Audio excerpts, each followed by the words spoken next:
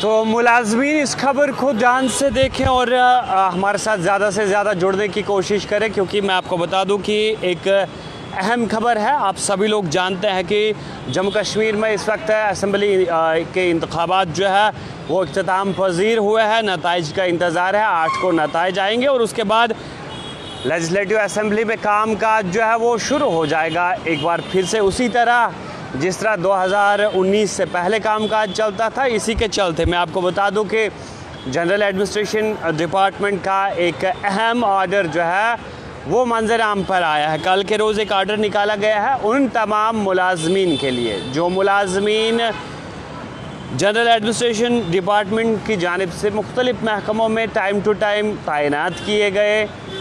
यानी उन्हें मुख्तलिफ़ महकमों में डिप्यूट किया गया, उन्हें फिलफोर वापसी के लिए बताया जाता है कि वो लेजिस्लेटिव असम्बली के जो एम्प्लॉज़ हैं उन्हें फिर से अपने डिपार्टमेंट में आ, अपने डिपार्टमेंट की तरफ़ रुजू करने के लिए कहा जाता है। यानी फिर से वापस उसी तरफ़ आ, आने को कहा जाता है क्योंकि मैं आपको बता दूँ कि जनरल एडमिनिस्ट्रेशन डिपार्टमेंट की जानब से जो है ऑर्डर निकाला गया है जिसमें ये बताया गया है कि सेक्रेटरी जे के लेजिस्लेटिव तकरीबन तमाम उन मुलाजमीन को फिर से लेजिस्लेटिव असम्बली में जो तैनात थे, उन्हें फिर से बुलाया जाता है और उन्हें जम्मू या श्रीनगर में रिपोर्ट करने के लिए कहा जाता है। और वहाँ से उन महकमों में जहाँ वो तैनात थे, वहाँ से रिलीव होने के लिए भी कहा गया है। और जो लोग, जो मुलाजमीन किसी तरह की कोताही बरते हैं तो उनके खिलाफ़ आपको पता ही है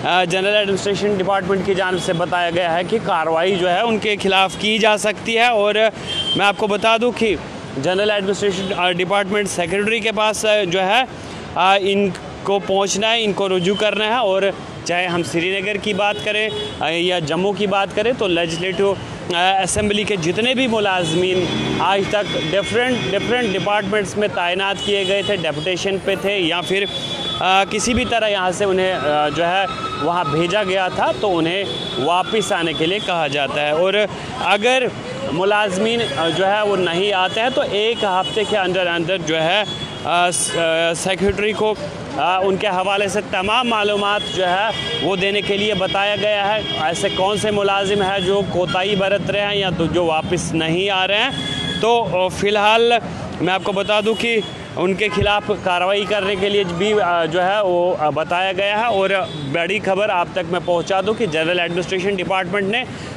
लेजिस्लेटिव असम्बली से मुंसलिक उन मुलाजमीन के लिए हुक्मनामा जारी किया है जो डिफरेंट डिपार्टमेंट्स में इस वक्त तैनात हैं। उन्हें कहा गया है कि जनरल एडमिनिस्ट्रेशन डिपार्टमेंट की जानब से उन्हें वहाँ भेजा गया था या किसी भी तरह, वो किसी भी महकमे में, किसी भी इलाके में तैनात थे।